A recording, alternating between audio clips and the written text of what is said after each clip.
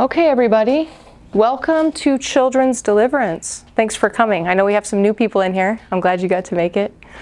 Um, and you guys, too, you're new as well, right? Yes. Awesome. Well, thanks for coming. Today, we're going to talk about how we can show love to friends and family, right? So sometimes we have these situations where maybe brothers and sisters fight, or uh, maybe sisters and brothers get jealous with the parents giving attention to another kid or even parents towards children. How do we show love? Okay, so that's what we're going to talk about today. It's easy to show love when, can I have some ideas of when it's easy to show love to people? Yes! By sharing.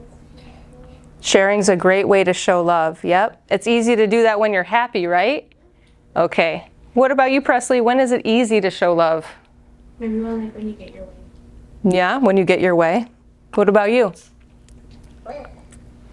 I'd say, uh, yeah, when you're in a good mood and everything's going good. Yep. Charlie, what about you? So yeah, when, when things are going smooth and working out. Okay, great. Let's see what I put. When I get my way. It's definitely easy to show love. When I'm having fun. You know, sometimes it's harder to show love when you have to work or when you're asked to do a chore, right? Does your mom ever ask you to clean the room? Sure. Any of you guys? Do you have to clean your room? Yeah, but we don't have room, so we have to clean our room. Okay, that counts too. All right. How about when people are nice? It's easy to show love. What about sharing and caring? Sharing and caring is so important. When I feel loved, right? So sometimes we don't feel love, and then it's hard to show love to people. When I'm rested, is it hard to show love when we're tired and we don't have any energy? Or maybe we have kids and we feel a little run down. It gets exhausting. I Okay. did that when I was sleeping. I bet you did. Okay. It's hard to show love when, what do you think? When is it hard to show love? To be mad. When you're exhausted. Yeah, when you're exhausted. What about you, Mike? That's a good one. That's a good one. When you- yeah. When you're mad. Yeah, when you're mad. Yeah.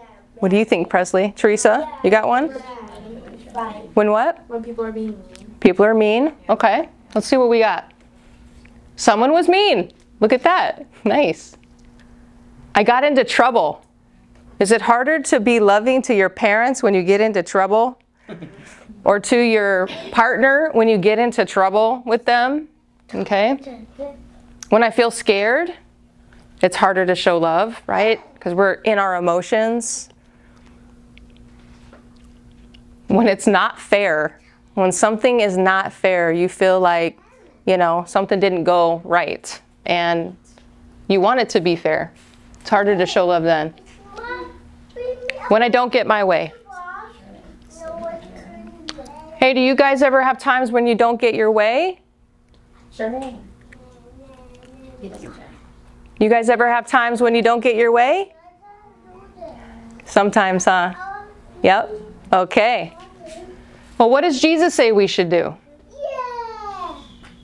That's a big deal, right? Because we're supposed to be acting like Jesus would act. So he said, honor your father and mother and love your neighbor as yourself. So we need to be good to our parents, but we also need to be good to other people who are around us, right? Or even if you're married, right? Being good to your husband or wife. That's super important. And loving them even when you don't feel like it, even when it's hard, right? Okay, so we're to treat others how we want to be treated. This is the sharing and caring that my group back here was talking about, right? This says, therefore, all things whatsoever you would you would that men should do to you, do ye even so to them, for this is the law and the prophets." So this means we're going to be treating others how we want to be treated, right? Now this can be with kids. Say you don't want to share something, but you decide to share instead of being mad at your brother or sister, right? And it- or they try to take a toy from you and you just let them have it instead of getting mad. That's important. Here's some examples. Here's some examples. So this person right here, what's happening with them, Presley? Being left out. She's left out, okay? Does that feel good? No. Does she still need to show love even though she's being left out? Even though it doesn't feel good?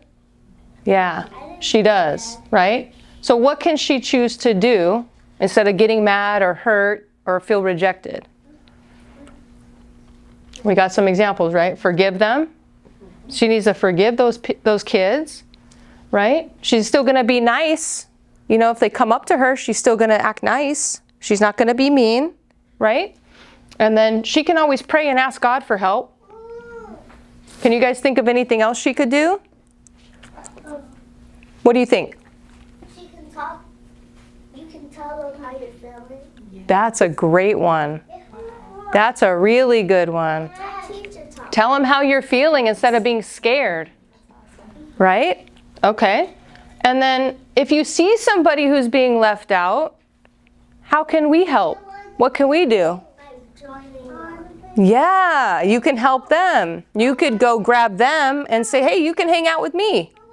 That's a great answer. So we could help them. How about helping them to forgive those people? Because they're probably sad. What do you think? You can just tell them. I wanted to play. No. You guys wouldn't let me. Yeah, you can explain yourself. That's true. Yep. We can help them be nice. Okay?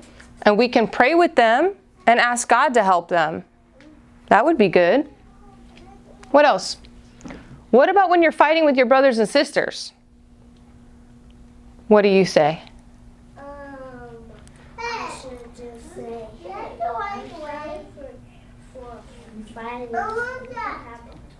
There you go. That's great. So maybe you're fighting over a toy. Just give them the toy, you know? Don't make a big deal out of it, especially if it's a younger sibling. You can do that. You got to forgive them, right? For being naughty, for being nasty to you or taking your toy. Just forgive them quickly. Be generous in giving. That's what she was talking about was, hey, it's it's okay to just give them that. And that's a loving thing to do. So we're always going to show love to our siblings. We're always going to show love to our brothers and sisters and quickly forgive them. But what about when your sibling does something and you tell your parents about it and then they take the sibling side, they take your brother's side or your sister's side instead of listening to you? Does that hurt your feelings sometimes? Yeah, you could get your feelings hurt or you could just forgive them and maybe like we talked about explaining yourself you could sit down and say hey you know this is how i'm feeling about it and they can help you understand so we're going to be careful how we respond to our parents right? What happens if you get an attitude with your mom presley? Does that go well? How does that usually go? You get in trouble? Yeah so it doesn't make it very good. Now what if you change your attitude and you just you know tell them what you need or how you're feeling? How does that go? Maybe they'll, they'll a little more understanding of like where I'm trying to, where Like. Exactly. Okay, so our tone is really important and our, our emotions when we go into something. Okay, so we can still show respect and we're going to take instruction, meaning we're going to listen. We're going to listen to our parents. Even if we don't like what they say in the moment, we're still going to do what they say because Jesus said to honor your father and mother, right? That means when mom's asking you to be quiet, or she's asking you to clean your room, or she's asking you to be nice to your brother or sister, you do that. And you don't you don't say why. You just go ahead and do that because you respect them and love them, right? And that's how we show love to our parents when we do those things. And if we need to forgive our parents because we think it's unfair, we're still going to forgive them. Okay? So we have a choice, don't we, about how we're going to act. We can choose to be nice or we can choose to be mean. We can choose to help or not be helpful. We can choose to share or we can choose to be selfish. We don't want to be selfish. And we can choose to listen or we can choose to ignore, right? So we have a choice to make. How can kids show love to parents? This is a big one. This verse says, honor your father and mother. So we're going to listen, we're going to obey, which is taking instruction. We're going to speak kindly to our parents, and we're going to show appreciation, right? So, how could we show appreciation, guys? What do you guys think? How can we show that we're thankful? Teresa, what do you think? We can say we're thankful and we can thank people and then we can also times when the answer is no, we can honor that. Yes. Yes. So Absolutely. What about if your mom buys you toys? What if your mom buys you toys?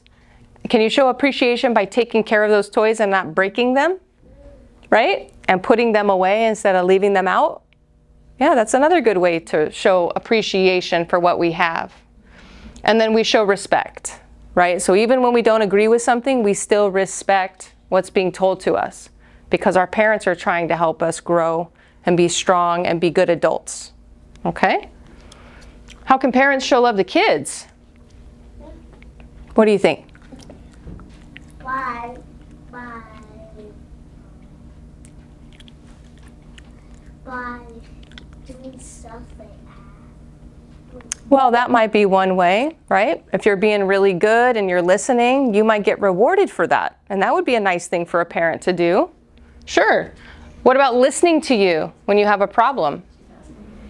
Right? Taking the time to sit down and actually listen. Counseling those kids, right?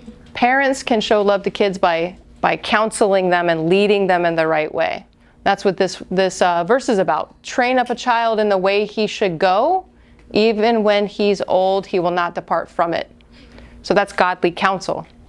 We can speak kindly to the kids, right? We don't need to yell. We don't need to scream. When we start screaming and yelling, kids get scared and fear comes into them, right? It's the same thing if parents are fighting with each other in front of kids. Even subconsciously, if you don't think that they're paying attention, they are paying attention, and fear can come into them. So we have to be very cautious of how we talk to each other and others and know that the kids are watching.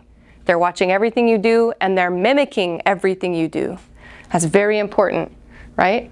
We also show appreciation, right? Parents showing love to kids by showing appreciation, which is what she was talking about, being rewarded for doing the right thing. That's a good thing to do. It gives kids incentive and discipline. This is another way, kids don't like it, but discipline is super important as you grow up. If, if you don't ever have a, a reason not to do something you want to do, you're just going to do it. So by disciplining your kids and showing them that's the wrong thing to do, they learn and they're going to move forward and, and think twice before making a bad decision. And you can learn how to discipline, even if you weren't raised with discipline, you can learn it from the Word. The Word is very specific about disciplining your child. It even says that um, children that are not disciplined by God are not children of God's, they don't belong to Him. So He's very specific about discipline, right? Another verse says, spare the rod, spoil the child, meaning there has to be a rod of instruction and discipline in their lives. So that's really good. And showing respect to our kids, you know, we look at our kids and we think they're just kids, but they do deserve respect, right? And um, so, yeah, we go on from there to wrapping it up. Always be humble and gentle. Be patient with each other, making allowance for each other's faults because of your love. So, the way we show love is doing those things being humble and gentle and patient, right? Forgiving each other for their mistakes. And this is the life that we're going to lead. And this is so we're going to treat everyone how you want to be treated, is the overarching message of how we show love, whether it be between siblings, other friends, parents to kids, kids to parents, husbands to wives. So, any questions on this? Any comments? Yes. Uh, You're going to treat others how you want to be treated, right? yeah. Sharing is caring. Yeah, and sharing is carrying an ABC city toy. That's right. Now, do you need prayer to help you with that? You guys need some prayer to help with that? Because that's what we're going to do now. We're going to pray with everybody in the room. We're going to pray with the parents. We're going to pray with the kids. Yeah. And we're going to help you guys. Just like the slide said, we can go to God and we can ask Him for help. Okay? All right, guys. So what we're going to do is we're going to have our ministry team come over and just talk to you guys, talk to the parents, see what you guys need help with, what you need prayer for, and we're going to start praying with you all.